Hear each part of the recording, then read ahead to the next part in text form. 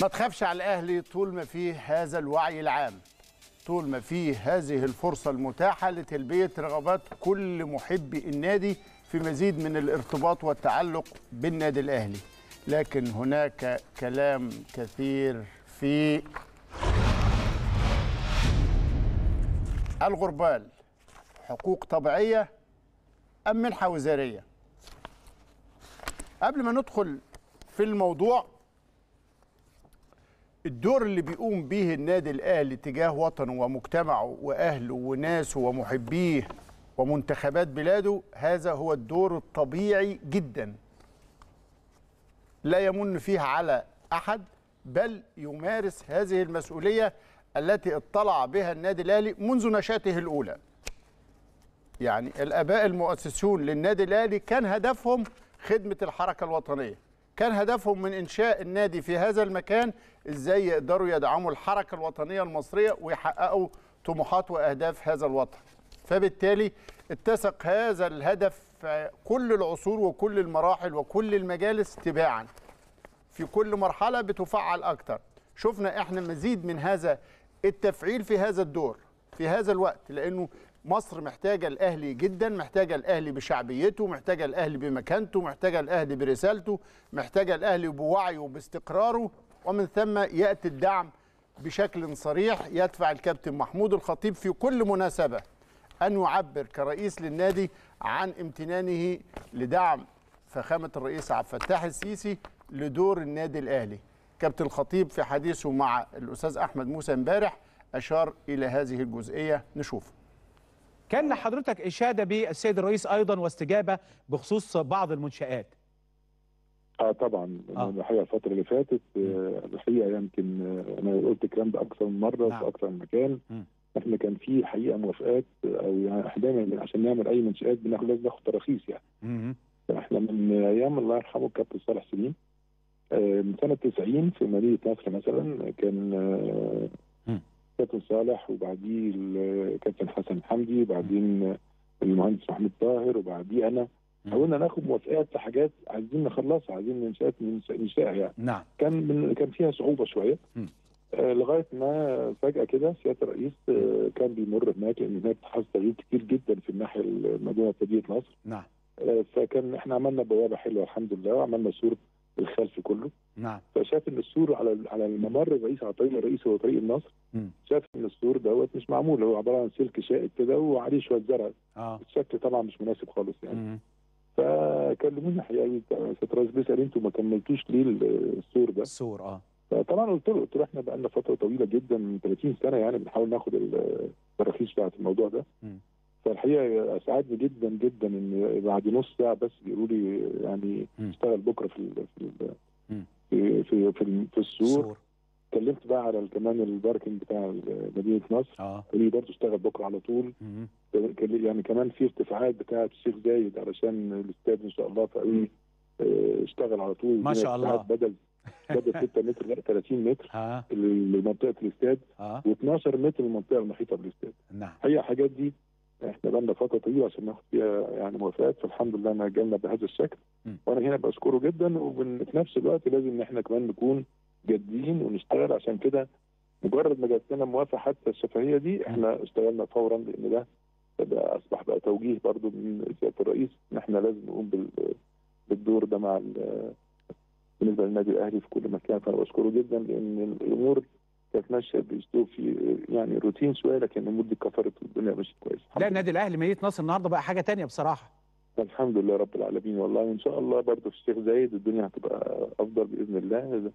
يعني أعتقد المنطقة كمان هناك يعني 127 فدان أعتقد إن إحنا في مساحة هناك نقدر نشتغل فيها كويس بإذن الله بإذن الله يعني. كان لحضرتك إشادة هذا السرد وهذا الحوار الذي دار بين الأستاذ أحمد موسى وأتاح الفرصة للكابتن الخطير الخطيب والخطير. هو خطير أن أن أن آه، آه، ينتهز الفرصة ليشكر سيادة الرئيس على ما يقدمه من دعم للمؤسسات خاصة مؤسسة بحجم النادي الأهلي يرى فيها أنها جادة فيما آه، تنهجه من تطوير ومنشآت بتساعد بتساعد إلى حد كبير في حل مشكلات أخرى خارج أسوار النادي الأهلي وحدوده. لما يقول لك إن هو معدي على سور النادي الأهلي آه، في مدينة نصر لاحظ. في تطوير في شغل. بص آه. الملاحظة فيها ذكاء طبعا. فيها المعية. هو مش بيعدي كده مرور الكرام لا. هو لقى أسوار وفجأة سور لا يتسق مع بقية الأسوار ويعني مهمل. أو إيه حكاية السور ده؟ أصله ناقص ال- التراخيص بتاعته. فيأمر. باستصدار التراخيص عشان المنظر الجميل يكتمل عشان بعد كده الاهلي يقدر يعمل الجراج عشان بعد كده ياخد التراخيص ال- بتاعة الاستاد والاستثناءات المطلوبة علشان يقدر يطلع بالارتفاعات في آه، الشيخ زايد. هذا الاهتمام له معنى وهي رسالة يجب أن يفهمها كل المسؤولون أو المسؤولين. كل المسؤولين. كل المسؤولين وهنا في الرياضة على رأسهم الدكتور أشرف صبحي وزير الشباب والرياضة. اللي هنقف مع سيادته وقفة لمحاولة استقراء هل ما يطالب به النادي الأهلي هي حقوق طبيعية لمساعدته على أداء رسالته ودعم دوره؟ وأيضا قيامه بهذا الدور الكبير جدا في خدمة الحركة الرياضية لأن النادي الأهلي أعطني منشأة أعطيك بطلا. النادي الأهلي لما يجي ينشئ ثلاث صالات للألعاب في الشيخ زايد اللي الكابتن الخطيب بيتكلم عليهم مع الأستاذ أحمد موسى صالة تنس طاولة والكل يعلم حجم إسهام النادي الأهلي في تنس الطاولة المصرية. لما تيجي نذكر بمناسبة تنس الطاولة آه. بنتنا هنا جودة. آه. والإنجاز الرائع في بطولة العالم. أيوه. تحت 15 سنة. آه. هي المصنفة الثالثة على مستوى العالم. بالظبط. هي تجاوزت بطلة تايلاند أيوه ودخلت آه، في ال quarter. طيب. ده النادي الأهلي اللي طلع آه عمرو عصر يكون واحد من أعلى المصنفين في تاريخ تنس الطاولة. عمر عصر عمر من أعلى المصنفين في تاريخ تنس في الطاولة العشرين الأوائل على العالم. عالميا. وهنا جودة هذه المعجزة الطفلة المعجزة. ودينا مشرف وكل زميلاتها وكل أبطال تنس الطاولة لدرجة إن في بطولة أفريقيا يا دكتور أشرف في بطولة أفريقيا الأخيرة تقدر تسال اتحاد تنس الطاولة. مين من الأهلي عدد ال- البعثة المشاركة؟ هتلاقيهم رجال وبنات من أبناء النادي الأهلي. تبص على منتخبات الناشئين والناشئات من أبناء النادي الأهلي. ده تنس الطاولة. رياضة الكاراتيه وإنت واحد من أبطال الكاراتيه ولعل سيادة الرئيس لما أشار وأحمد طارق بيسأله اللعبة اللي إنت بتمارسها أو بتحبها وبتمارسها قال له الكاراتيه أكيد الدكتور أشرف صبحي بطل الكاراتيه يعلم جيدا حجم إسهام النادي الأهلي في لعبة الكاراتيه والمنتخبات الوطنية للكاراتيه. معلوم جدا دور النادي الأهلي في هذه اللعبة. لما يكون صالة للسكواش والنادي الأهلي بيقدم أبطال عالم متميزين جدا في هذه اللعبة. ثلاث صالات يا سيادة الوزير في أرض الأهلي في الشيخ زايد. النادي على وشك افتتاحهم. النادي لا يحصل على أي دعم إنشائي. ده كلام برضو ما حدش بيتكلم مين بياخد كام ولا التساوي في توزيع الدعم الإنشائي للأندية. ما بيتكلمش الأهلي بهذا المنطق خالص كل حد له ظروفه. بس النادي الأهلي لما يخاطب معالي وزير الشباب والرياضة بست خطابات خلال ست شهور أو خمس شهور ده كتير جدا إنه ما يتردش على النادي الأهلي. بجد كتير على الأقل مساعدته في القيام بهذا الدور. وهنستعرض مع لا حضراتكم. وسياسة ال ال- إيه اسأل واعمل الغموض بقى. ما احناش فاهمين الموقف إيه ليه مش بتردوا؟ ليكوا حق لا مش هنديكوا لا مش هنديكوا. طب قدام مفيش شوية مناقشة. أنت عارف يا أستاذ إبراهيم يا ريتك أنت بتتكلم في الدعم. طب فين الحقوق؟ هو أنت ليك حقوق عند الشركة الراعية؟ اللي راحت ادت المنافس بتاعك لمدة سنة قدام. آه حقوقه. وكان دور الوزير مشكورا. يعني وزير الشباب والرياضة تدخل. واستحق الشكر من جانب مسؤولي الزمالك لتدخله لدى الشركة الراعيه في منح نادي الزمالك حقوق مستقبلية. 210 مليون جنيه والنادي الأهلي لا. يحصل على حقوقه المتأخرة. اللي متاخره اللي عايز يدفع بيها حقوق ل... ل... ل... ل... ل... لبعض أجهزة الدولة في الإنشاءات. للهيئة الهندسية الهيئة الشركة اللي الهندسية شغالة، اللي هي اللي بتنجز هذه المشروعات. و50 مليون جنيه وانت ليك 210 مليون جنيه مش عارف تاخدهم. بالظبط. بحثا عن هذه الحقوق الطبيعية خلي بالك يا أستاذ إبراهيم برضه قبل ما تكون- هكمل لك بس والنبي الحتة دي قبل ما تعدي عليا عشان هسيبك تسرد بقى بتفاصيل. الرئيس شاور على تسهيلات للنادي الأهلي تراخيص واستثناءات وحاجات كده. وأيضا حل مشكلة كبيرة جدا لنادي الزمالك ليها علاقة بالفرع بتاع 6 أكتوبر اللي كان اتسحب. فأنا عايز أقول هذه رعاية للمؤسسات لإدراكه إن دي مؤسسات يجب أن ترعى. فإحنا مش بنقول كده عشان ما بنقول اشمعنى زم... لا ادي الزمالك وادي الإسماعيلي وادي الأهلي حقوقه وادي له آه والاتحاد وكل الأندية الشعبية اللي ليها دور. علشان ي... ي- تقدر المؤسسات تقوم بدورها. النادي الأهلي له فلوس ساعدوا عليها. النادي الأهلي له حقوق عندك أنت. إحنا خدنا خدنا خليني أنا أقول لك بقى بداية الخطابات لأنه فعلا مش من ال- المظبوط ابدا ان أنا ابعت لك خمس أو ست خطابات في خمس شهور ومفيش رد. بداية في 27 6 2021 السيد الأستاذ الدكتور أشرف صبحي وزير الشباب والرياضة يسعدني أن أهدي إلى سيادتكم تحيات السادة أعضاء مجلس إدارة النادي وتحياتي ده الكابتن محمود الخطيب. موقع هذا الخطاب وبيقول له في إطار حرص النادي الأهلي على تمثيل الرياضة المصرية في المحافل الدولية على المستوى الدولي والإفريقي والعربي وفي ضوء الإنجازات التي يحققها الفريق الأول لكرة القدم من الفوز بالبطولات الدولية والقارية ويحقق وتحقيق مراكز متقدمة فيها وبالإشارة إلى قرار وزير الدولة. دي النقطة المهمة. عشان بقول لكم هي حقوق حقوق منصوص عليها لائحيا. وبالإشارة إلى قرار وزير الدولة لشؤون الرياضة رقم 338 لسنة كام بقى 2013 والصادر بتاريخ 2 4 2013 والمتضمن اعتماد لائحة ضوابط ومعايير تكريم لاعبي المنتخبات والفرق الرياضية.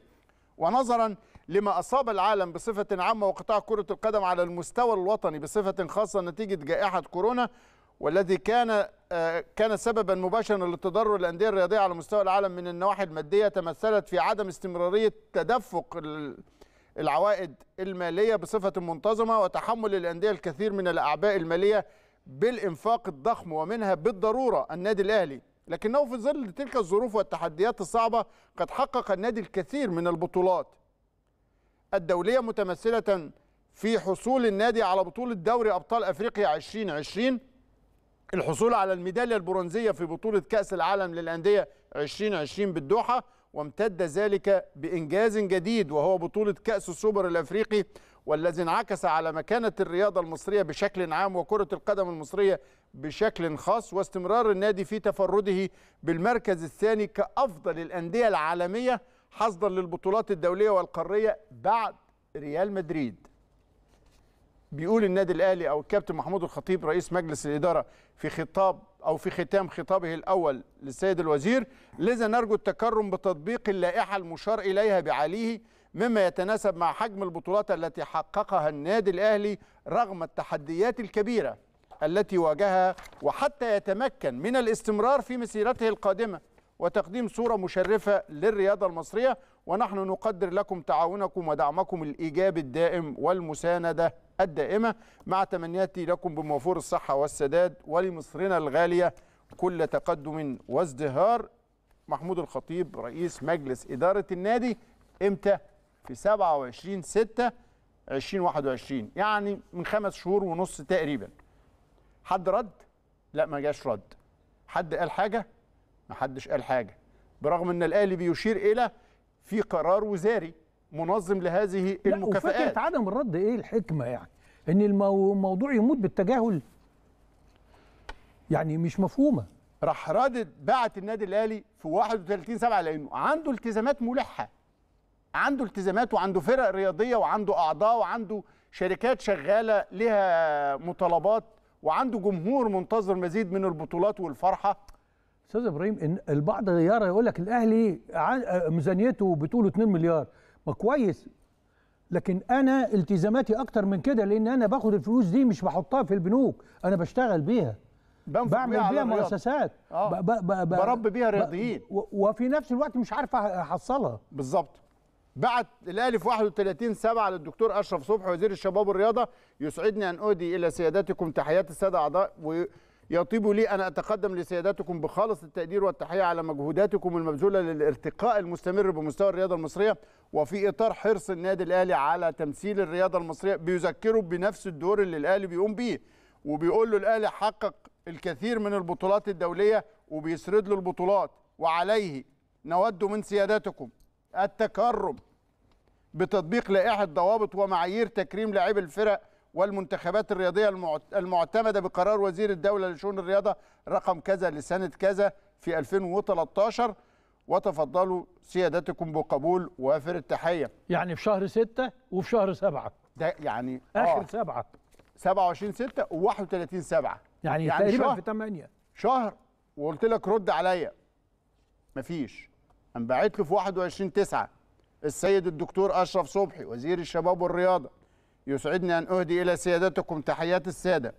وإلحاقا لخطابنا الصادر عشان أفكرك بقى إلحاقا لخطابنا الصادر لسيادتكم رقم 1174 بتاريخ 27 6 ورقم كذا بتاريخ 31 7 الخطابين اللي أنا قريتهم لحضراتكم بيقول له علما بأن النادي الأهلي قد حقق من البطولات لربما يكون محدش قال إن محدش سمع على البطولات دي. الاهلي والله العظيم خد دوري ابطال افريقيا مرتين وخد كاس العالم المركز الثالث وخد والله العظيم السوبر الافريقي. وفي لائحة والله العظيم تاني ليها قرار وزاري منظم بتاريخ كذا بينص على معايير تكريم ودعم المنتخبات والفرق الرياضية الفائزة بالبطولات.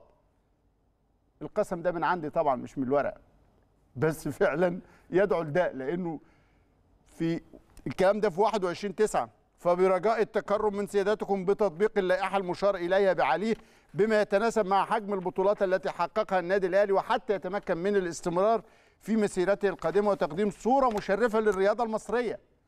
أنا عايز يعني أو أقدر أقوم بهذا الدور. 21 9 بعت له هذا الخطاب وراح باعت له خطاب تاني معاه. في, في نفس التاريخ. قال له بعد أن أصبحت الرياضة أمرا حيويا ومهما للغاية بالنسبة لربان السفينة فخامة السيد الرئيس عبد الفتاح السيسي رئيس الجمهورية. في قيادة الأمن القومي المصري كما أنها تمثل قطاعا أساسيا في بناء وتشكيل النظام الاجتماعي والاقتصادي ونشاط تجاري. له تيارات متنوعة من العوائد لصالح الموازنة العامة للدولة. هذا الإدراك أكثر عمقا بعد أن نص الدستور الجديد لجمهورية مصر العربية عام 2014 في مادته رقم 84 على أن نص الدستور ممارسة الرياضة حق للجميع وعلى مؤسسات الدولة والمجتمع اكتشاف الموهوبين رياضيا ورعايتهم واتخاذ ما يلزم من تدابير لتشجيع ممارسة الرياضة وينظم القانون شؤون الرياضة والهيئات الرياضية الأهلية وفقا للمعايير الدولية. ده نص الدستور. طيب أنا بس عشان الناس تعرف تتابعك مم. كل فقره كده إيه إيه مح... ده بيستند إلى نص الدستور وأهمية الرياضة وقيمتها. وقيمتها. آه. الفقرة الجاية بتقول إيه بقى؟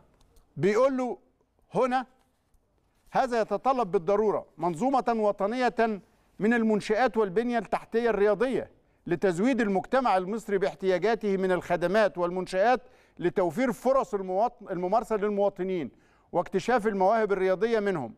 وتهيئة السبل للوصول إلى المنتخبات الوطنية وتعزيز مكانة مصر في المحافل الرياضية الدولية الأمر الذي أخذ معه النادي الأهلي بزمام المبادرة وتنفيذ مشروعات لتطوير منشآته وبنيته التحتية الرياضية. حظيت أغلبها بشرف حضور سيادتكم لافتتاحها. في كل من المقر الرئيسي بالجزيرة ومدينة نصر وأيضا الشيخ زايد والذي سيفتتح به أربع صالات رياضية للجمباز والكاراتيه والإسكواش وتنس الطاولة. أنا نسيت الجمباز في في- عرض المنشآت. جمباز فكرة- كاراتيه تنس طاولة. والصالات دي قبليها بسنة ولا اتنين اتعملت في الشيخ في في, في في الجزيرة الجزيرة ومدينة نصر. آه اذا أنت أنت عمال بتضيف بتضيف إلى البنية الأساسية الرياضية في مصر كل يوم والتاني بيقول له النادي الأهلي لسيادة الوزير في هذا الخطاب الذي يبدو فيه الأهلي كما لو كان قد فاض به الكيل. بيقول له بعد استعراض هذه الصالات الأربعة خلال شهر من تاريخ الخطاب وذلك باستثمارات تصل ل 94 مليون 45859 جنيه. 94 مليون جنيه ونص تقريبا. هذا بالإضافة إلى المساهمة الفاعلة لتنفيذ توجه الدولة نحو إنشاء العاصمة الإدارية الجديدة. وتطوير المناطق المحيطة بها بالتعاقد مع هيئة المجتمعات العمرانية على شراء قطعة أرض بالقاهرة الجديدة بالقرب من العاصمة الإدارية الجديدة مساحتها 50 فدان بقيمة إجمالية تصل ل 667 مليون 339 ألف 667 مليون و269 ألف و534 جنيه آه، قيمة أرض ال- ال- التج- ال- التجمع. كما تعاقد النادي مع أعرق المؤسسات الوطنية وهي وزارة الدفاع ممثلة في الهيئة الهندسية للقوات المسلحة وإدارة التشغيل أو الأشغال يبقى العسكرية. نلخص الحتة اللي فاتت دي مهمه آه. هو بيقول هنا النادي الأهلي بيركز على إيه؟ هو أنا صرفت فلوسي في إيه؟ مم. أنا عملت الصالات والحاجات دي بحوالي 100 مليون 94 وشوية زائد مش عارف كام. وفرع مدينة فرع التجمع. التجمع مكلفني حوالي 667 مليون. يعني حوالي 700 مليون. سب- قرابة انت داخل على المليار اهو. يعني الفلوس مش واخدينها. ده بتشتغل بيها. وبشتغل فيها وفقا للأهداف العامة للدولة. أيوه بعمل المنشآت اللي زي ما شفنا. بمشي فيها في الاتجاه بتاع الدولة. إعمار تنمية بنية تحتية رياضية رعاية استكمال رياضيين الصورة. يعني انت في, رعاية الش- شباب. في مدينة نصر والجراش والأسوار اتسقت مع التطوير اللي حصل في المنطقة, في المنطقة، وساعدت عليه. طبعا. بيقول له النادي الأهلي إنه وأنا شغال مع مين؟ أنا تعاقد النادي مع أعرق المؤسسات الوطنية وهي وزارة الدفاع ممثلة في الهيئة الهندسية للقوات المسلحة إدارة الأشغال العسكرية لتنفيذ أعمال البنية الأساسية للفرع الجديد بالقاهرة الجديدة بقيمة إجمالية تقديرية بلغت 96 مليون 576 ألف 347 جنيه. بالإضافة إلى تنفيذ المرحلة الأولى للفرع الجديد بالقاهرة الجديدة بقيمة إجمالية بلغت م- آه، 313 مليون 750 ألف. بالإضافة إلى الاستعداد لسداد للبروتوكول الثالث في إطار نفس المرحلة الأولى بقيمة تقديرية تصل إلى 450 مليون جنيه. أدي مليار تاني. آه علما بأن هذه الأعمال سوف تنتهي بنهاية العام الحالي يعني كمان أيام. ليتم افتتاح هذا الفرع ليكون إضافة جديدة يساهم بها النادي في تدعيم توجهات الدولة وثورتها التطويرية والإنشائية والرياضية. يعني أنت عايز المستحقات تدفع مستحقات الدولة. ما أيوة. دي مؤسسات من يعني منتهى الشفافية أنت رحت اختصرت مسافات كتيرة جدا ورحت لمؤسسات الدولة العسكرية اللي هي أعلى أكثر حاجة. انضباطا و- أعلى حاجة وكفاءة في وسرعة. التنفيذ وأعلى حاجة في التسليم و- والأكثر انضباطا والتوقيت وكل حاجة. بالظبط طب هي الناس عايزين فلوسها. ادوني عشان ادفع لهم. وبيقول النادي الأهلي في آه، ختام خطابه المطول والكاشف المدعم بالأرقام. بيقول له في إطار دعم الدولة وقيادتها السياسية للرياضة والمنشأة الرياضية وكانت وزارة الشباب والرياضة دائما وابدا وخاصة في ظل قيادة سيادتكم ما تدعم الهيئات الرياضية الجادة والهادفة. وكا- وكانت شريكا لنا في كثير من إنجازاتنا حيث قامت الوزارة بتقديم الدعم المالي للعديد من الهيئات والمؤسسات الرياضية ترسيخا لتوجيهات القيادة السياسية بدعم الرياضة والرياضيين. الأمر الذي يأمل معه النادي الاهلي في دعم وزارتكم الموقرة بمبلغ 100 مليون جنيه لاستكمال المرحلة الأولى لفرع التجمع بالقاهرة الجديدة على أن يسدد هذا لصالح الهيئة الهندسية للقوات ما المسلحة. تدينيش فلوس. إدارة ادفع. الأشغال العسكرية التي تنفذ مشروع الفرع الجديد.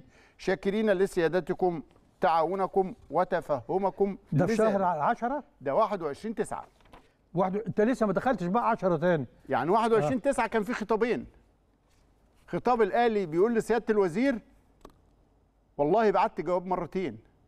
بتاريخ 27 س- 26 التاني تفاصيل بقى. كذا. في شهر س... قال له بعت لك الحقا للخطابين. في 27 6 و31 7 بفكر إنه في لائحه معتمدة بقرار وزاري تنص على آه، معايير تكريم ودعم الرياضيين الأبطال المحققين للبطولات وأنا والله عملت بطولات. بأمارة ما خدت بطولة أفريقيا دوري الأبطال مرتين خدت السوبر الأفريقي خدت ال- الثالث العالم بنافس ريال مدريد على صدارة أندية العالم كل ده لرف... لرفعة قيمة الرياضة المصرية وصورتها. وبالتالي ده ينطبق عليه لائحة الوزارة وفقا للقرار الوزاري في 2013 فين؟ مفيش. بعد ثالث خطاب بفكرك إن أنا سيادة الوزير بعت الخطاب ده مرتين. وتاني يوم كان الخطاب الشامل اللي فيه كل المص... ال- الأرقام اللي النادي الأهلي بينفقها على الإنشاءات الرياضية من خلال وزارة الدفاع. فبيقول له في ختامة الخط... ختام الخطاب أنا مش عايز حاجة. اتفضل سيادة الوزارة وجهي الفلوس المطلوبة 100 مليون جنيه لوزارة الدفاع الإدارة الهندسية إدارة الأشغال العسكرية. اللي بتنفذ في المشروع لأن ليها حقوق عندي وأنا ليا حقوق عند وزارة الشباب والرياضة. ده الخطاب اللي جاي بقى يا أستاذ إبراهيم مهم جدا لأنه برضو بيوضح للوزارة الشباب مش بس اللي يحوى عندك ده أنا الشركاء الاستراتيجيين اللي هم بتوع البث التلفزيوني والرعاية. عليهم فلوس اقراها بعد 21 9 الاهلي استنى كام بقى؟ 8 18 يوم. ومفيش مفيش مفيش رد. أم بعت الاهلي في 10 أكتوبر للسيد وزير الشباب والرياضة الدكتور أشرف صبحي يسعدني أن أهدي لسيادتكم تحياتي وتحيات أعضاء مجلس الإدارة متمنيا لسيادتكم دوام التوفيق والسداد في خدمة الرياضة المصرية. وإلحاقا لكتابنا الصادر لسيادتكم بتاريخ 21 9 والمتضمن طلب دعم وزارتكم الموقرة للنادي الأهلي. ومن منطلق التعاون المستمر والعلاقات الوطيدة بين وزارة الشباب والرياضة والنادي ونظرا لاحتياج النادي لاستكمال الإنشاءات في كل من المقر الرئيسي بالجزيرة وفرع مدينة نصر وأيضا فرع الشيخ زايد والذي سيفتتح به أربع صالات رياضية مهمة.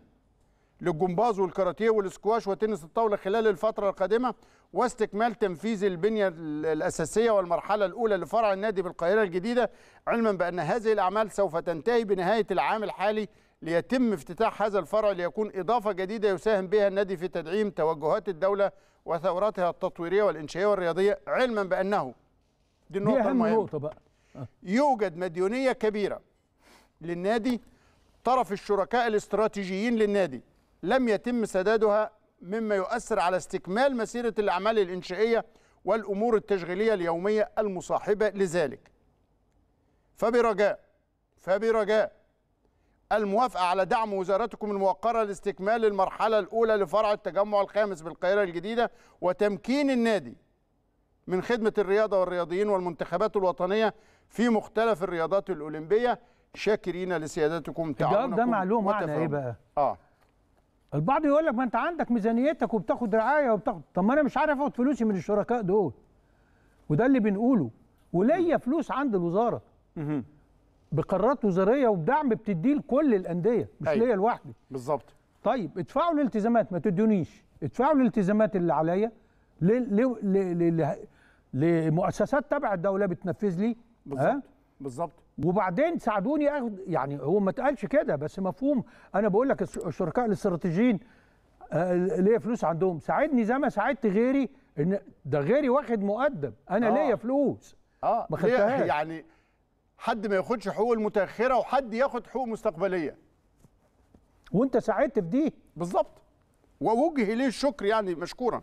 في 2 نوفمبر يعني 10 10 مفيش. 22 يوم لا حس ولا خبر.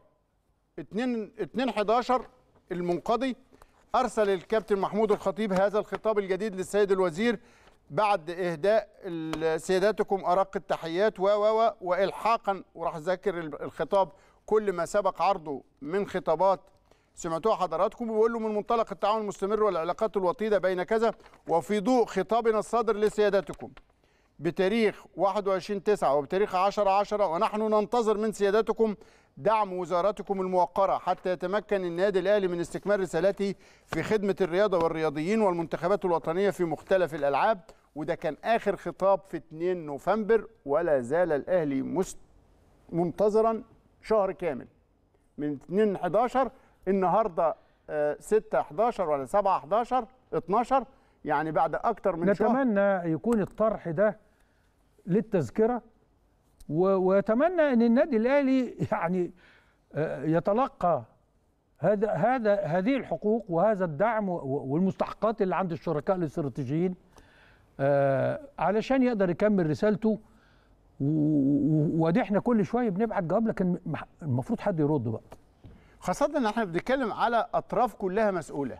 كل طرف عليه التزامات معينة. بنكمل أدوار بعض. هنطلع لفاصل وبعد الفاصل نشوف إزاي هنقدر نكمل أدوار بعض.